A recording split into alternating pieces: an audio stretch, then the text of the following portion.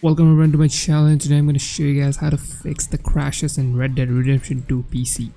So basically people are facing this problem a lot and the game is crashing a lot. It's because the game is a lot buggy but Rockstar definitely fixed the launcher but still the game is still buggy and the game is crashing a lot for a lot of people. So you can try this fix. It may work or may not. It depends on the system but I've tried in many systems and this fix definitely worked for me so you can try these three simple steps. The first and foremost what you do is you just go ahead and simply update your bios.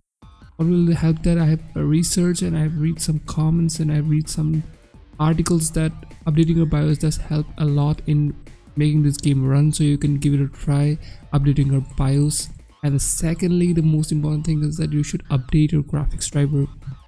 As you may know that nvidia have recently launched it driver which is the game ready driver for Red Dead Redemption 2 which is 441.12 so you just update your graphics driver and then try it once.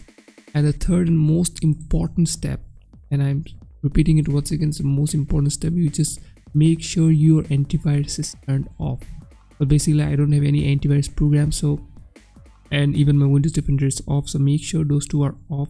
With if you have the antivirus on then you can't run this game at all but there are certain people that definitely can run the game with the antivirus on but 99.9% people are not able to run this game on the antivirus.